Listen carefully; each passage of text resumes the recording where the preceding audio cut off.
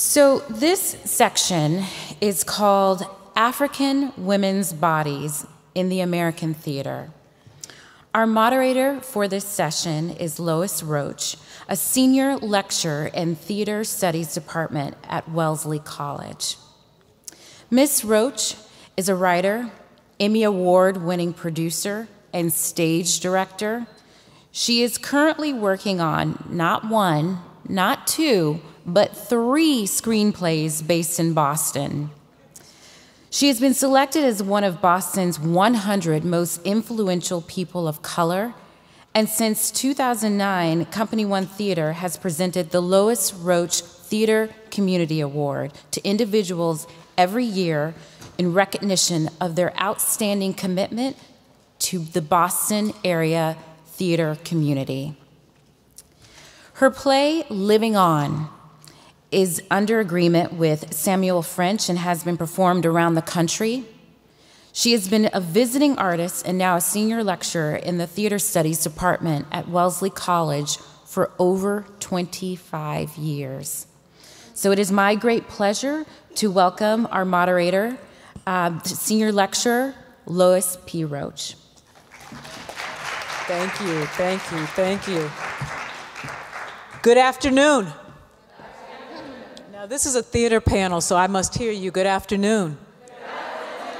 For those of you all in the back, please come forward. We got front row seats here. Please come forward, move forward so we see. We theater people, we like to see our audiences. Yes? Come forward. It is my pleasure to be on this stage with Mfoniso Udofia.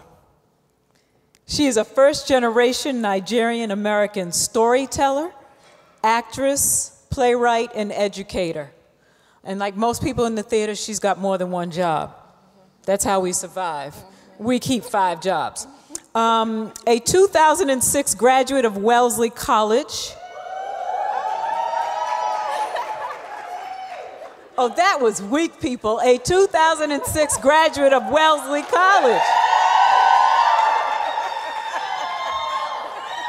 That means she did it. She graduated. Yes.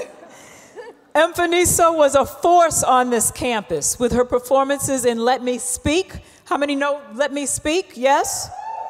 Okay, let's keep going. But her activism with Ethos and her return for a staged reading of her play in old age. Mfoniso is currently under deadline with no less than five theatrical commissions, five theatrical commissions, and three upcoming stage productions. Her Ufot cycle play, her portmanteau, will be produced this spring by Pasadena's Boston Court Performing Arts Center. Her plays have recently been produced by the New York Theater Workshop, the Magic Theater, and the Playwrights Realm.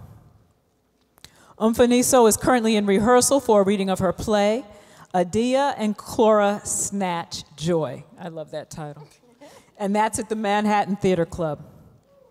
She's the recipient of the 2017 Helen Merrill Playwright Award and the 2017 2018 McKnight National Residency and Commission at the Playwrights Center in Minneapolis. In my world, we call this a national artist. Mfoniso is currently translating Othello for the Oregon Shakespeare Festival's Play On program, and she is the founding artistic director of the Now Africa Playwrights Festival and a proud member of New Dramatists Class of 2023. Welcome home with another big round of applause, Mfoniso Udofia.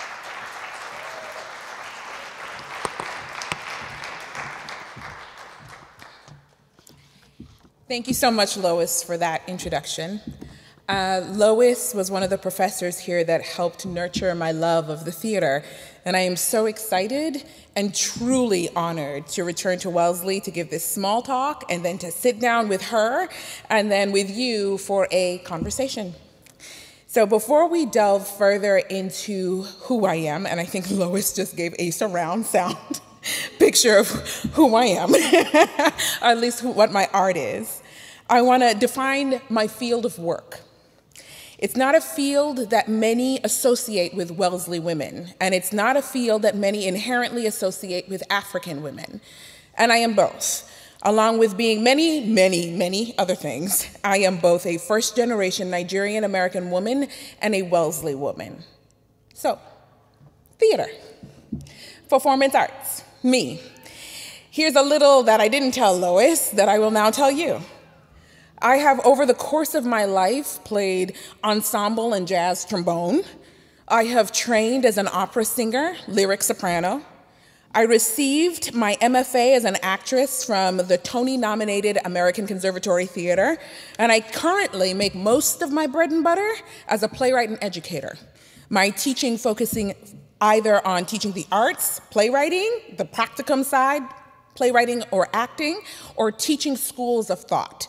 I specifically teach non-Western global dramatic history at the New School of Performing Arts, but my passion resides solidly within playwriting and education. Theater. Theater, according to uh, Merriam-Webster, is a building or area for dramatic performances. It is an outdoor structure for dramatic performance or spectacle in ancient Greece, Rome.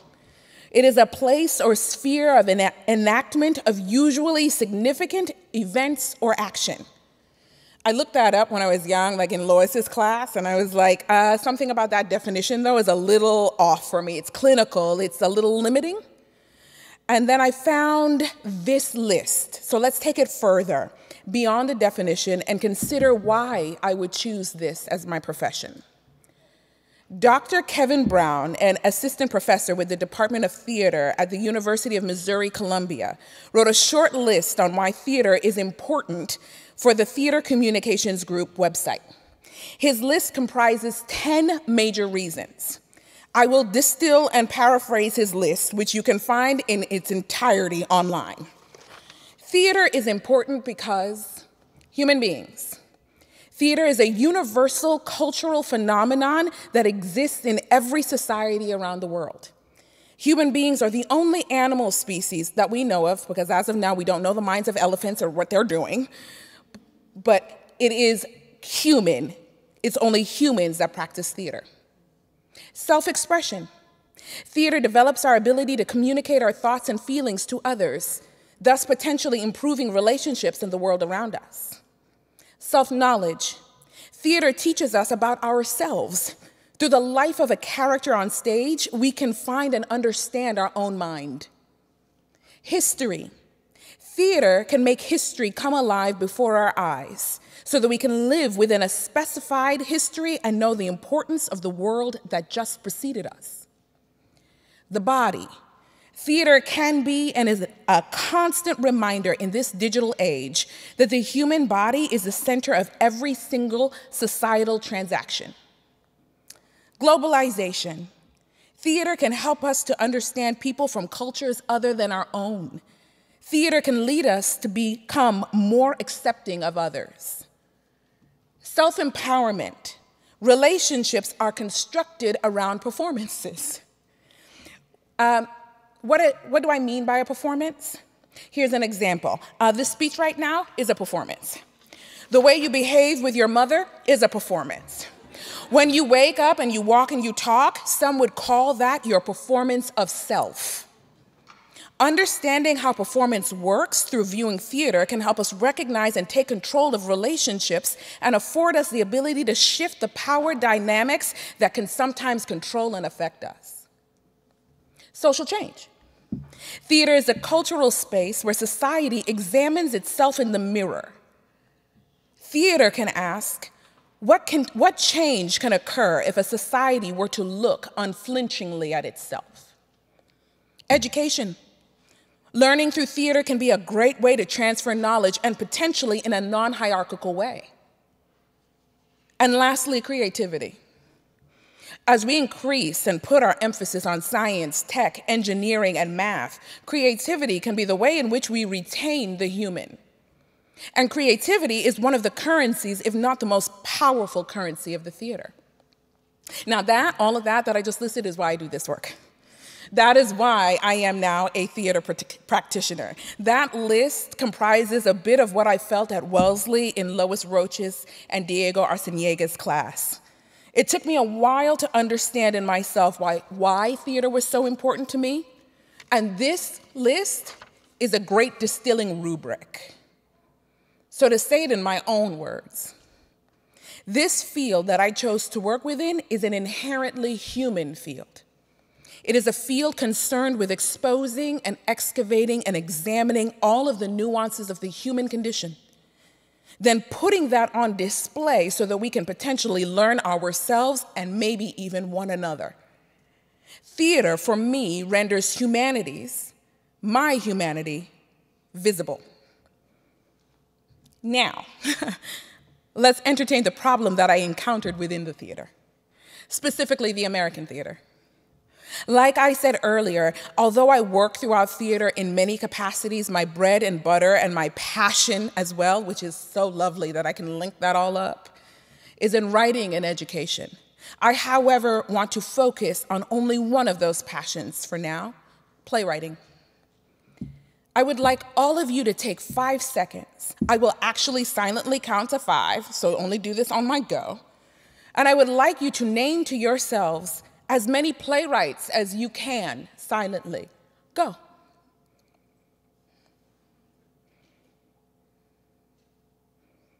Was that hard? Mm-hmm. Now I want you to remember that I just said theater is important and why it was. Now, here's another five seconds of time you're about to get. Please name as many African playwrights as you can. Go.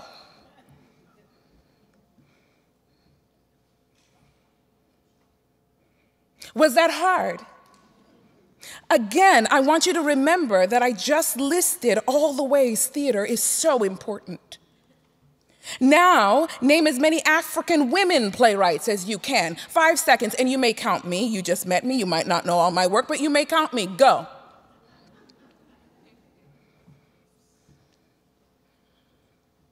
Was that hard? Remember that Dr. Kevin Brown said that theater was important because, and I'll say it again because drill is part of what we theater people do self knowledge. Theater teaches us about ourselves. Through the life of a character on stage, we find and understand our own mind. History, theater can make history come alive before our eyes so that we can live within and know the importance of the worlds that preceded our own globalization, theater can help us understand people from cultures other than our own, thus making us more accepting of what we don't know. Social change, theater is a cultural space where society examines itself in a mirror. So, what does it mean then if we are to extrapolate from that short, completely unscientific exercise we just did? That A, we probably don't know and or watch enough theater in the first place. B, we aren't seeing enough African theater, not in America anyway, and there are major African populations within the states, so what does this missing mean? And then C, the visibility of African women playwrights before the past few years on the American stage has been almost no, maybe so invisible to our eyes that naming them feels impossible, not counting the last few years, of course. In 2009, after my graduations from both Wellesley in 2006 and the American Conservatory Theater 2009, I was perhaps in the position I just put you all in. I could name a few plays, and I truly could not find, however, representations of myself within the theater, not many. All that was different between you and I potentially was that I knew that theater was a career for me. So I found myself asking what it meant that the American theater, theater which is supposed to be representational of the society at large, did not seem to include images of me. What was the American theater reflecting back to me about American society and my place within it? Uh, before I continue, let me give you a little information about me, some more. I grew up in Southbridge, Massachusetts. I am uh, one of the children born to two formidable academics I went to school from 7 a.m. to 2 to 3 p.m. every weekday and came back home after extracurriculars and was trained by my parents. My father would uh, hand me books after the school day was over and tell me to come up with abstracts and papers on said books. We would debate Frantz Fanon and Du Bois when I was 13. Now, I am not sure the 13 year old me understood much of anything, but my father would ensure I could think and hold my own in an argument. My mother further instilled in me a love of reading. She would come home with plastic bags full of books, put them in front of me, and gently, because her way is more gentle, encourage me to read. I was studying for the SAT at an obscenely young age. There was an actual premium on my brain. I came to Wellesley thinking that I would serve as an agent of change in the form of a lawyer, politician, diplomat. I came to Wellesley and y'all, I, I almost lost my mind. Because while the brain is glorious, my heart space, human space, was also large, and I needed to figure out how to feed that too. And while I was very happy at home debating because I was centered within home, at Wellesley I was floundering. To the point, and my mother is gonna die with me saying this out loud, I even failed a course here. I took six classes in a semester. I, it, that's insane.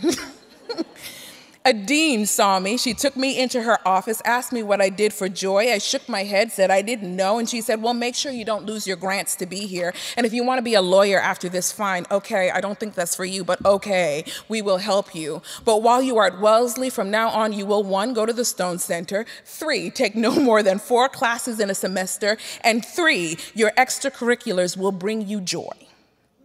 That's when I discovered opera and both my brain and my mind were evenly used. And then from there came the theater, and that balance was truly right for me.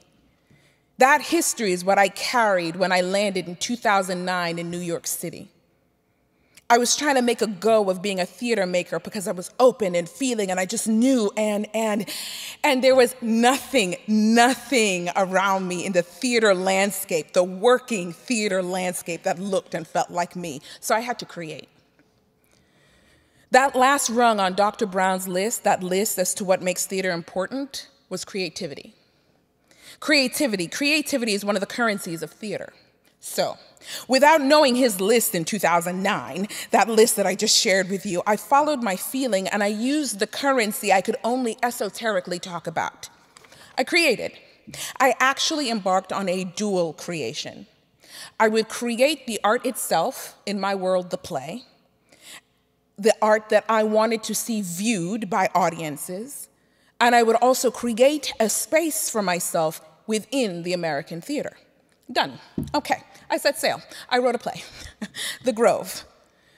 That play became a trilogy Sojourners, The Grove, Run Boy Run. Then a pentology, Sojourners, The Grove, Run Boy Run, Her, Point, Her Portmanteau, and In Old Age. And then finally, a nine play cycle, with a, and it's a word I struggle to say, Enneology. I think I just said it. Uh, and that is going to be comprised of Sojourners, The Grove, Run Boy Run, Her Portmanteau, In Old Age, Untitled, because it's not yet written, Untitled, because it's not yet written, Untitled, because it's not yet written, and then Adia and Clora, Snatch Joy, the first draft of which I just finished some weeks ago.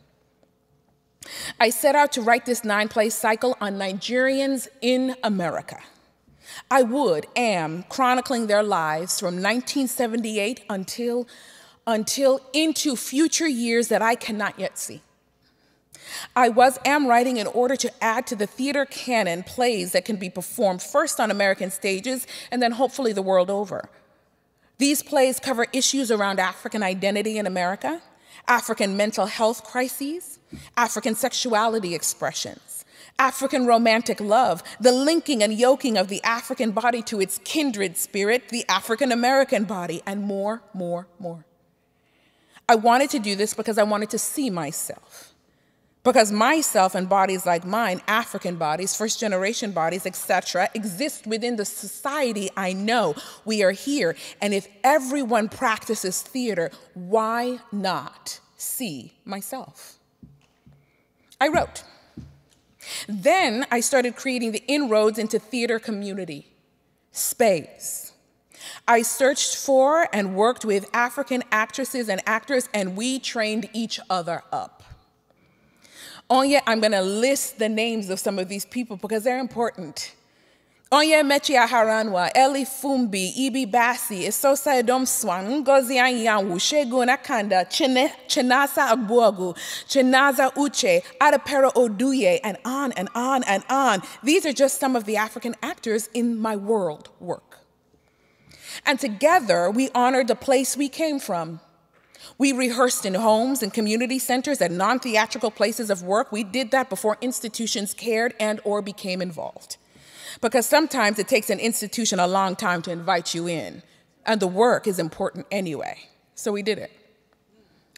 Then, as institutions became involved, I struggled to bring these African bodies into and inside the institutions.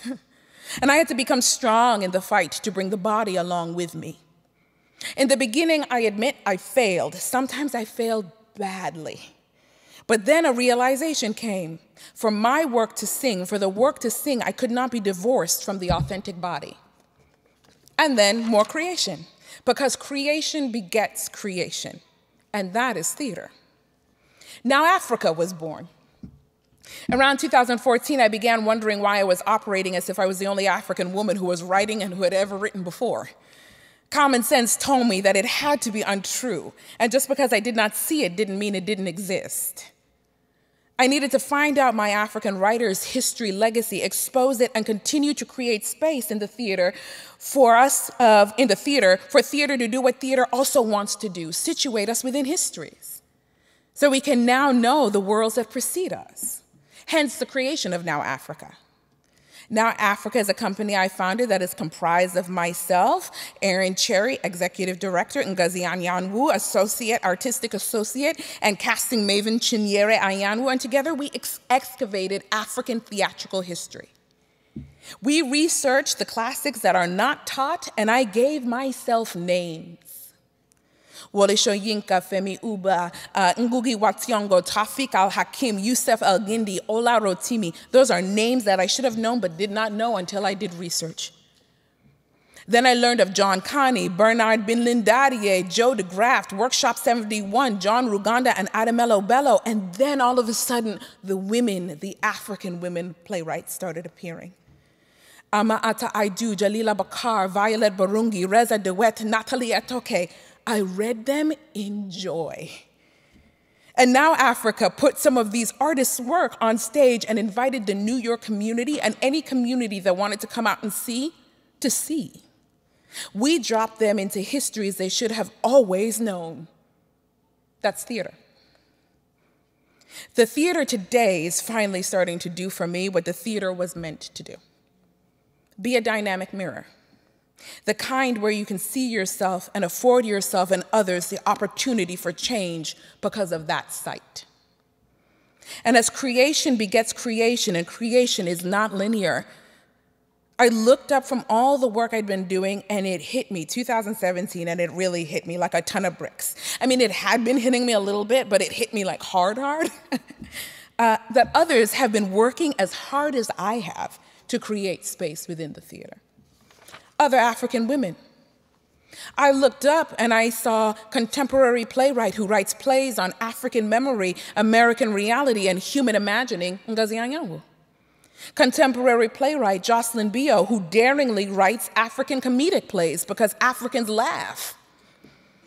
Deborah Asiimwe, whose work is clean and sharp as she writes on immigration lines and hoping and dreaming and Auntie Yakub Kamiando Kutuno and uh, Adong Ju Joseph, uh, uh, Adong Judith. And there is so much joy in all these names, and there are so many, and may there be more and more creation. I look around me and must acknowledge that there's a movement afoot. Who knows when, how it began, but it started with creation, the currency of theater.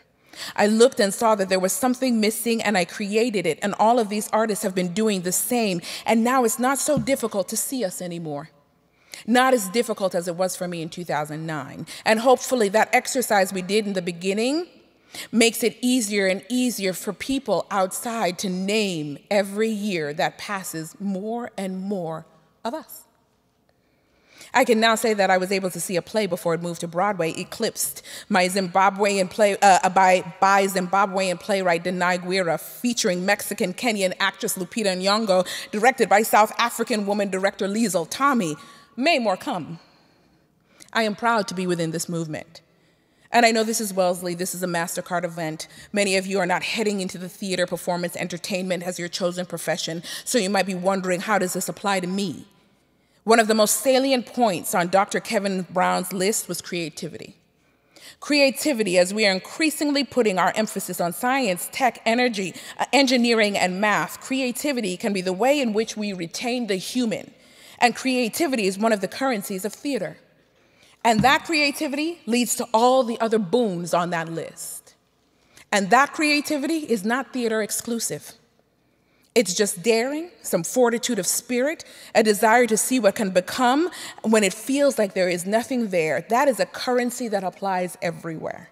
And if you remember that and consider the way in which creation begets creation, perhaps you too can harness some of the powerful gifts of theater to create movement within your respective field. Lois, let's talk a little.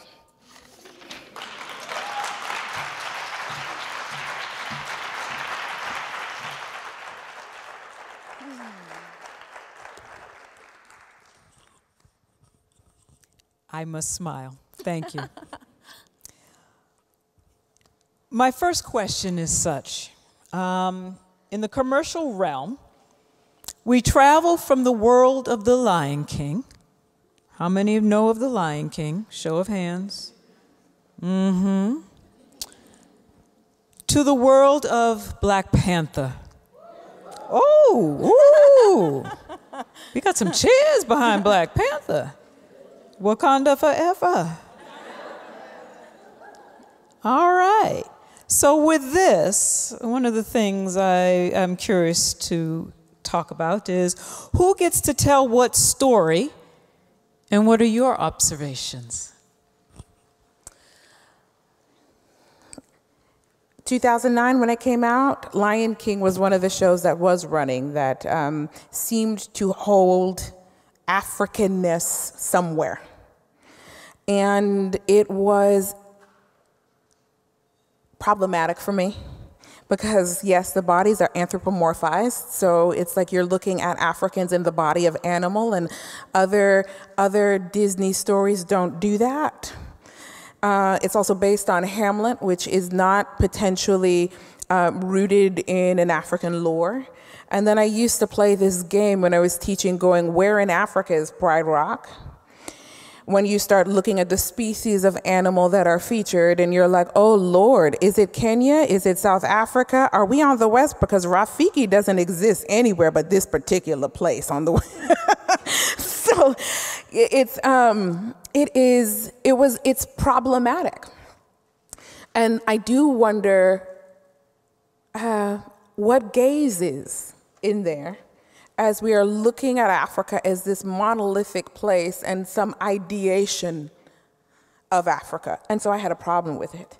However, I am really interested in what I think Black Panther is attempting to do, which I think is critically different. In that um, Black Panther, we're looking at imagined Africans, Africas without whiteness in the center. It is hard to do. There are so many complications within that. But you're looking at Black imagining, African imagining, and it's refreshing.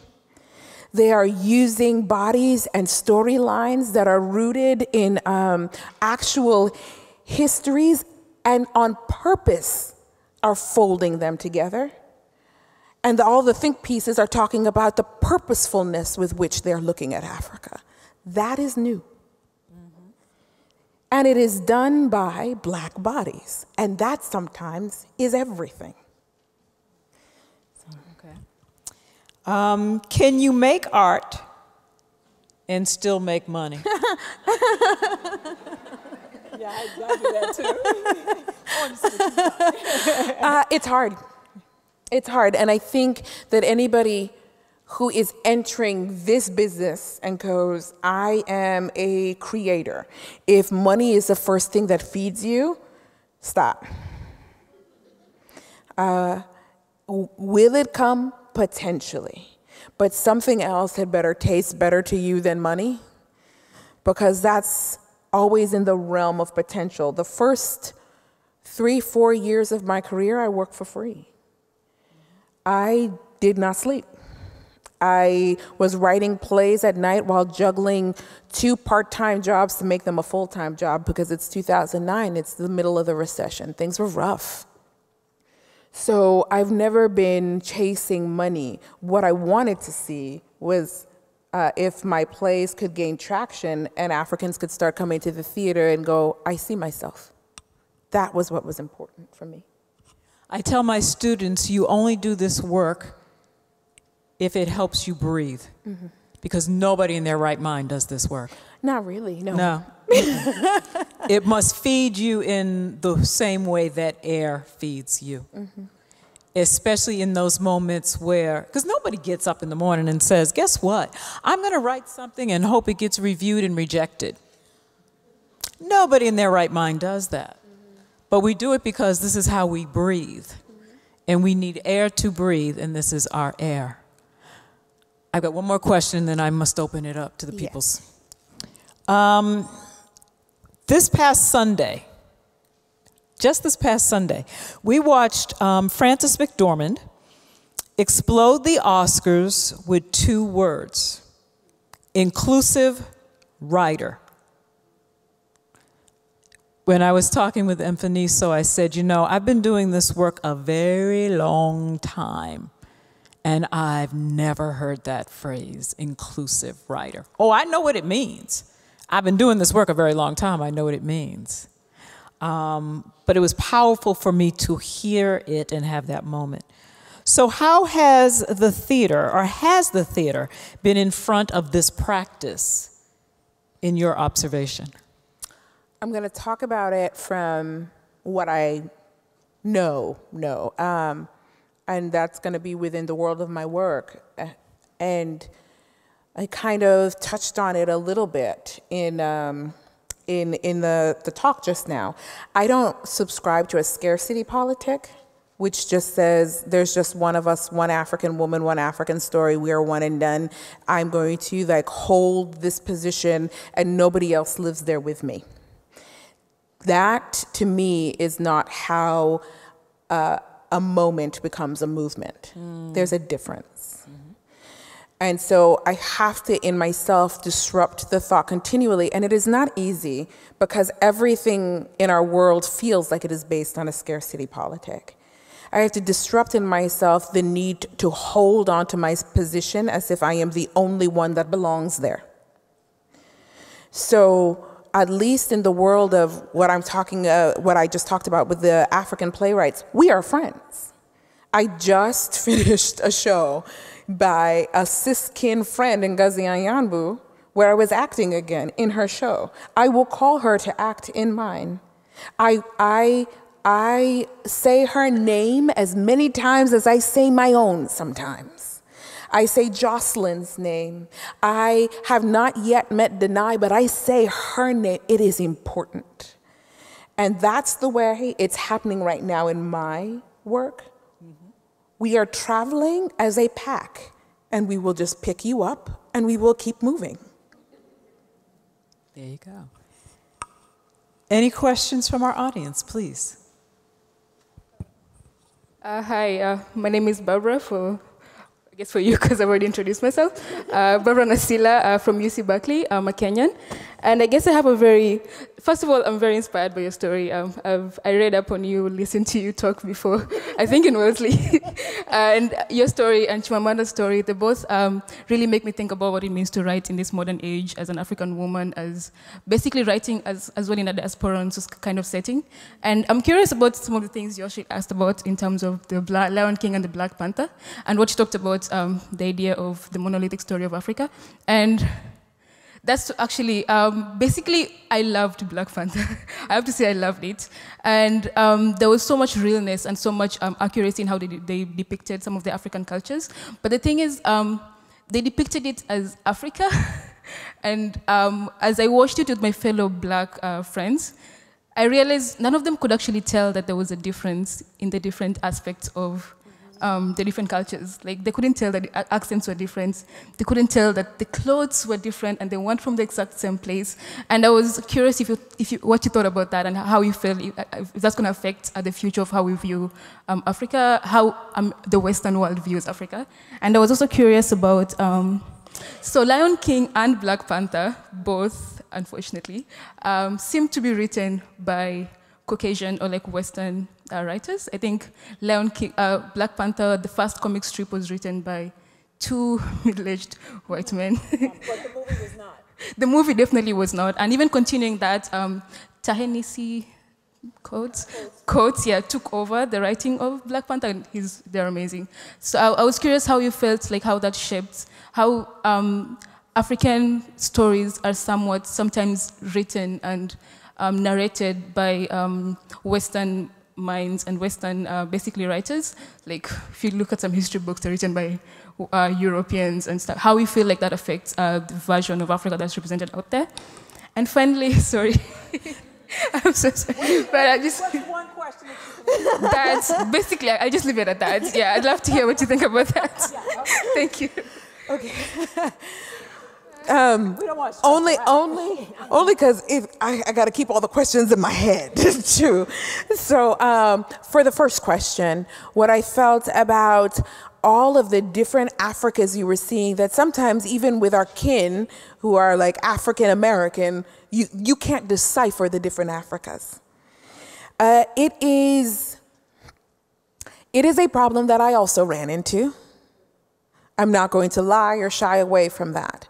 However, there was a beautiful moment that I want to describe. I went and I saw um, the movie with one of my deepest soul kin friends, who happens to be from the American South and might not have known all of the things that I knew. And it was myself afterwards who was like, Did you see this and this and this and this? And I know that we get exhausted, like an educational fatigue, but this is our kin. And this is a movie that is attempting to be for us, written by at least the, the screen version of it, by a person of color for us. So there's complicated thinking within the piece, because I mean, we could get into who Killmonger is and why we need to start unpacking that. You know, so there's a lot of um, there's a lot of thinking, but it, I think that it's thinking that is supposed to be done in conversation between our bodies. And so, is it complicated? Yes. If we don't talk about it, do we run the risk of rotating ourselves into another weird version of a Lion King moment if we're not careful? Yes. Is there a way in which we can now, because this movie exists, start talking because it was made for us? Yes. So I went through and was like, look at this, look at this, look at her hair, look at the way they're dancing. Do you see those marks? That's different. And my friend was like, Oh, I did not know that. I did not know that. I did not know that. And then we had a conversation about Killmonger and the pain of Killmonger. And I think that that is the point of the movie. For your second question, as to what you do when you see a lot of our stories not written for us, I mean, uh, written by people, bodies that are, are us. Um, for that question, I go, I never want to restrict an artist's ability to tell a story. But I was talking to Lois about this, about I, I view privilege as blindness. That's the way I talk about it when I teach. And I get, I think that if you are, and I'm just going to say it out and we'll see the controversies that come back to me. But if you are a white body writing blackness, there is so much privilege that must be dismantled in order to write a nuanced body. And the ability to say, I don't know, which is sometimes something an artist doesn't want to say, a human being doesn't want to say, is something that you must embrace. And until that kind of work is done, I do get a little from where are you writing, why are you writing, and how. I will say that refreshingly, I have met some that are doing that dismantling work. And what is happening is that sometimes they're writing and they create space for bodies that are not their body to be heard. So while I go, yes, it can be done, I think that the work triples. And once you embark on the work, the way in which you approach the writing of those bodies changes, and who you invite in the room is categorically different.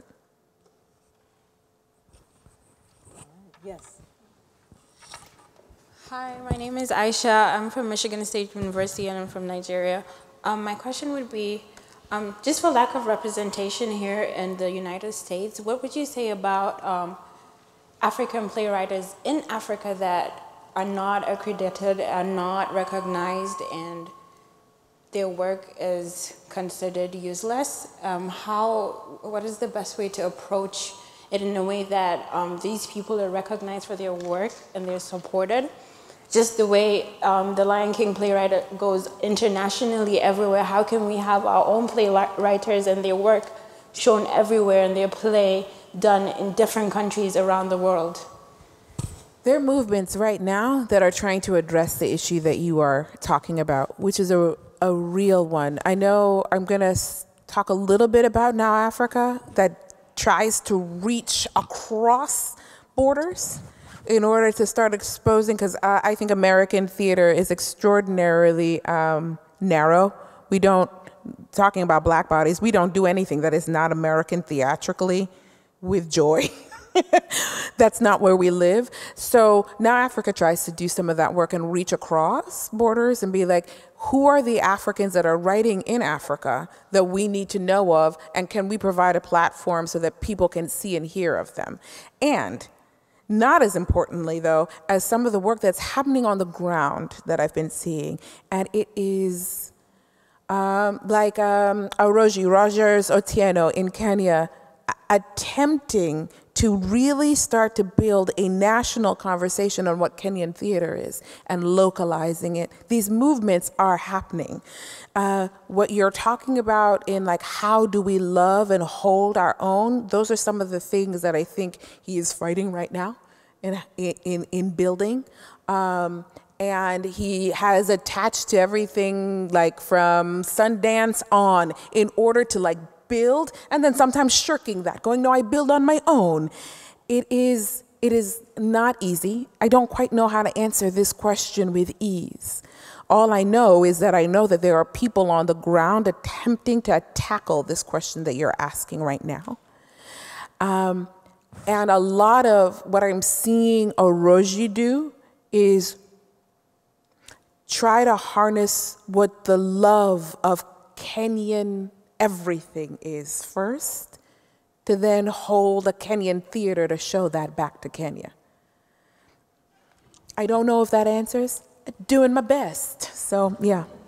I see one here, and then I, I got a one minute sign. So. Ah. Hey, I'm Jen Fry with Duke. I kind of have two baby questions. One, can you explain what inclusion rider is? Because I'm not sure if many people know if it differs between TV and theater. Mm -hmm. And second, do you think that the writers and producers and everyone of Black Panther kind of have an obligation to bring forth some of the African writers, producers, since in a way they're using that to get American notoriety? Say that last part again so that I really, because I want to make sure I understand. Do you think that the writers, producers of Black Panther have kind of an obligation to the continent of Africa to bring forth some of those directors, producers, actors with them because they're kind of riding on the coattails of Africa mm -hmm. to bring forth the play? So I'll take inclusion the first one. Mm -hmm. Yeah. Uh, so what an inclusion rider states is that if you, as an actor, as a star, as a director, in order for you to become attached to a project, and this is primarily film, but for you to be attached to a project, you want to make sure that 50% of the cast and crew are of a diverse audience or of a diverse cast and crew. That's the goal of it. The reason why we had this conversation around theater is that for some of us who've been doing theater forever, we do that anyway. So I'm always, since I live in multiple worlds of television, theater, and film, it's always interesting to me to see how far in advance theater is. Because we don't need a lot for theater. We can make something happen right now. We can shut this door and give me an hour, we got a show. That's how we work. I'll let you take the second one and then I'll respond to those. Mm-hmm. My answer is yes. I do think that there needs to be um, a bringing and acknowledging of the stories that you are taking and using and fusing to make this beautiful attempt at a conversation. That is important.